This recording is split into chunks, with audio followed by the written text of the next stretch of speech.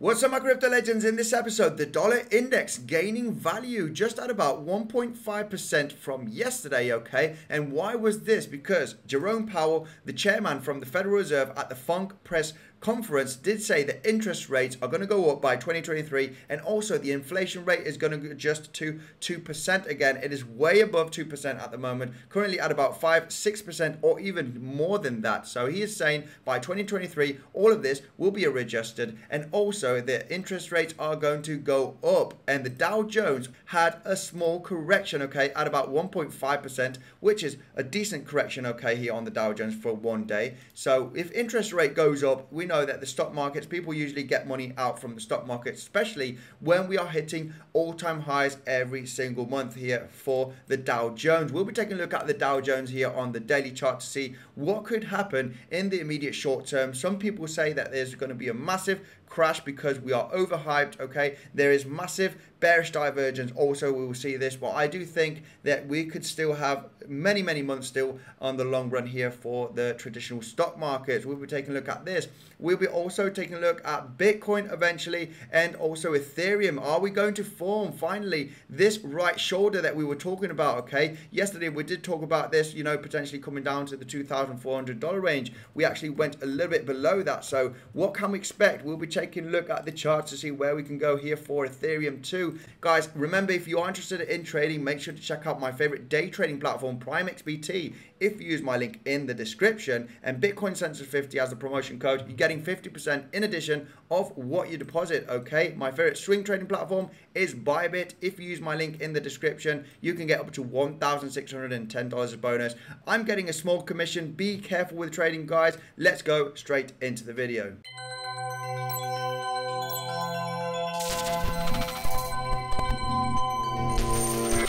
Hello there, Andy here. Welcome back to another episode of Bitcoinsensus. If you're new to the channel, make sure to subscribe. I do daily TA on Bitcoin, crypto, sometimes the traditional markets. I'm not a financial advisor. Don't buy or sell anything that I say. If you do so, do your research. Let's go straight into the video. Zooming in here on the dollar index, we can see we are pumping quite a bit because of the conference yesterday from Jerome Powell. Now we can see this double bottom scenario that we did mention before on the channel, okay, a few weeks back. You know, that we potentially we were going to create a double bottom here here and we are going to have a bounce in the short term. This might not be good for Bitcoin in the short term. So we can clearly see um, the price going sideways, making a double bottom and the RSI creating higher lows, which means that this is exaggerated um, bear, uh, bullish divergence. Sorry, the price is actually creating um, higher lows right over here, but you could say it is it is pretty flat, and the RSI is um, you know going up here, creating higher lows. So yeah, you could say these are exaggerated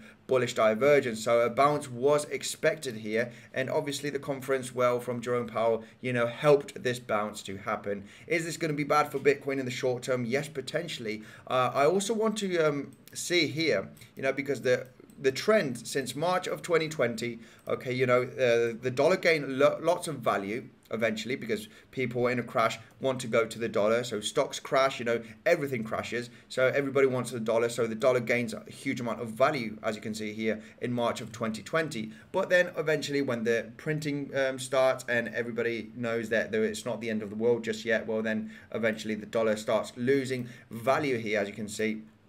And what I can see, okay, in the short term, there is bullish divergence, but in the mid long term, there is hidden bearish divergence, okay, which means that the uh, price is, create well, in this case, the percentage, well, the price here of the dollar is doing lower highs, okay, right from this point, uh, for example, all the way to this point, if we get a trend line like this, we can see that we are creating lower highs, okay, and the RSI is creating higher highs over here. This is hidden bearish divergence okay? This is an indicator that the trend is very very likely to continue okay in the long run. So we might see some pumps here and then continue to the downside in the next coming months okay? This is not guaranteed. This is what i can see on the chart. But but this would be invalidated as soon as we break the trend line okay? We get above this lower high and also this lower high currently at about 94 94.7 so eventually,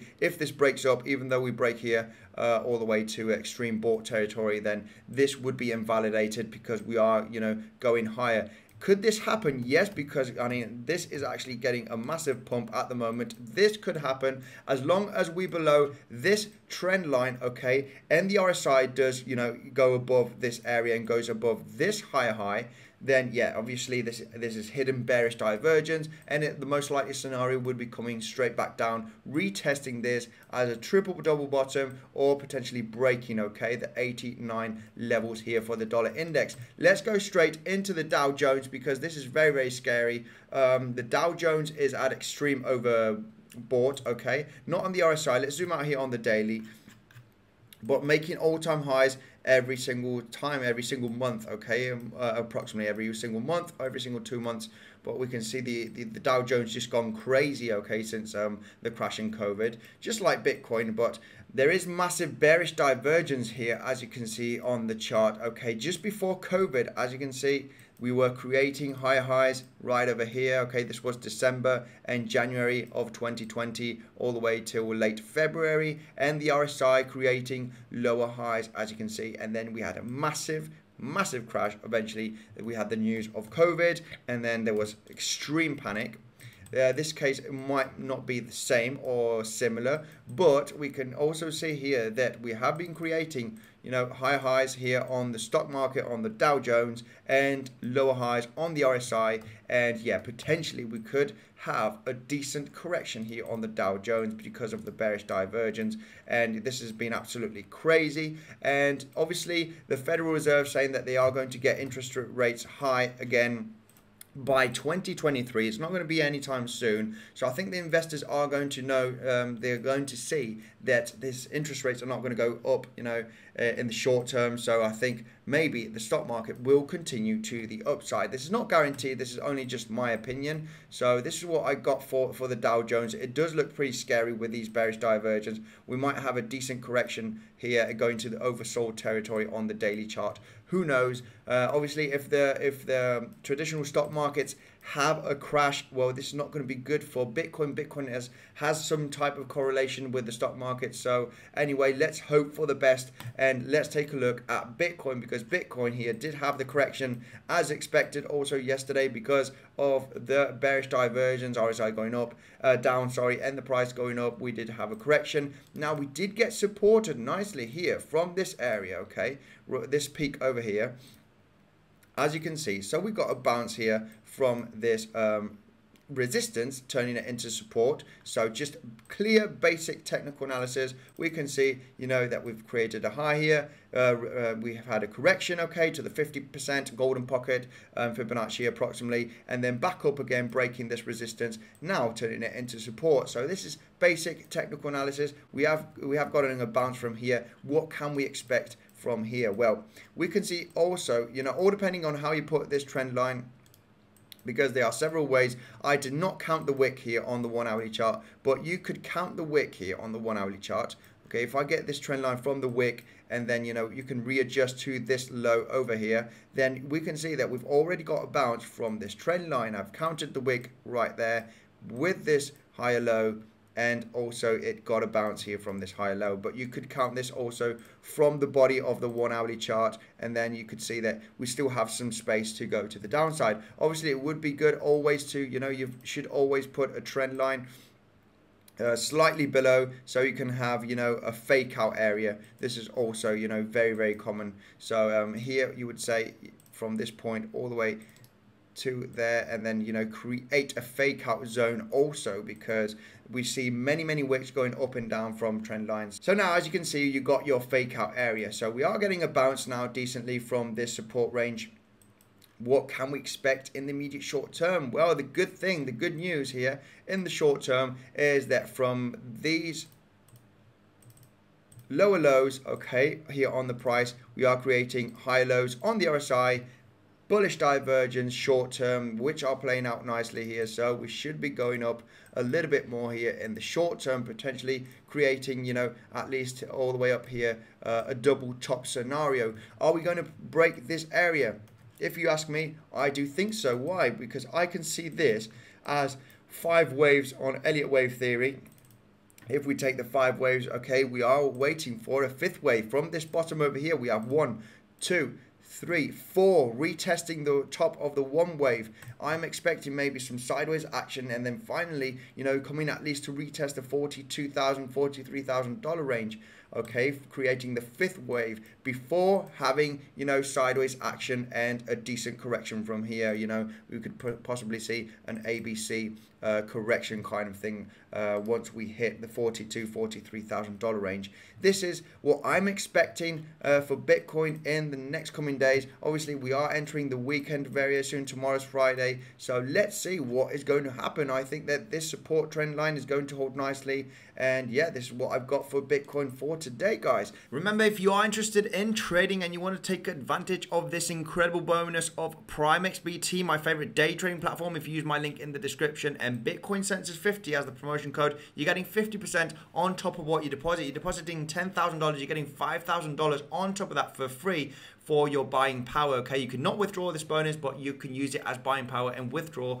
every single profit from there. Also, my Bybit is my favorite swing trading platform. If you use the link in the description, you're getting the best bonus available, guys. Let's take a look at Ethereum because Ethereum has um, gone all the way down below the $2,400 like expected mentioned on yesterday's video.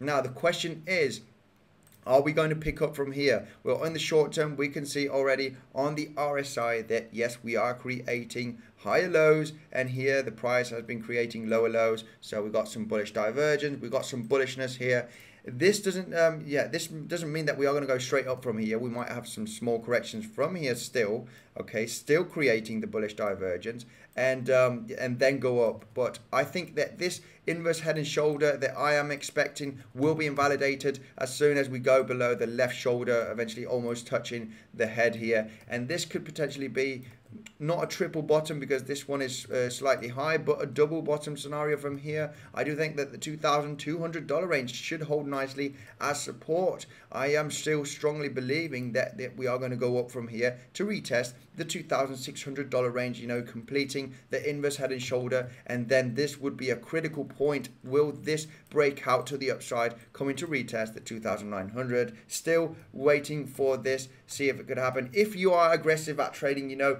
you could potentially place some long orders here, put your stop loss here behind the head. You know, if you are aggressive, yes, you could do this because then you're risking this, you know, to potentially gain this, which is, which is a little bit more. Maybe hold the position, waiting for a breakout here from this inverse head and shoulder. This is going to be it for today's episode. Make sure to check out the Bitcoinsensus website. You have here great tools. You got news, you got exchange reviews, you got price predictions, you got guides on how to buy Bitcoin, how to trade Bitcoin. Okay, we got all sorts here. Totally free guy. the link the link is in the description. So make sure to check it out. Take advantage of this webpage. We've got all sorts here. And if you haven't seen my prime xbt or my bybit tutorial there's a video popping up on your screen. Massive thank you for tuning in guys. Make sure to smash up the like button on your way out. You'll help me out immensely and i'll see you in the next one